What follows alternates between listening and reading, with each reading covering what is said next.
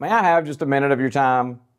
Psalm 85 6 says, Will you not revive us again that your people may rejoice in you?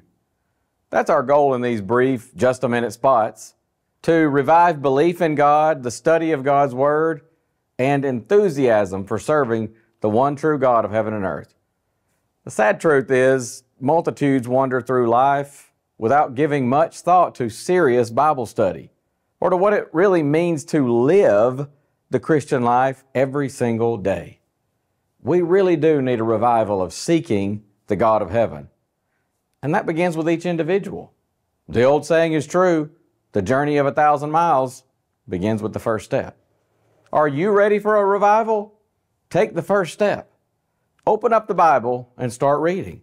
You'll be glad you did. Jesus says, Blessed are those who hear the word of God and keep it. Luke 11 28. If we can be of any help to you in this, reach out to us. We'll do whatever we can to help you in studying God's Word.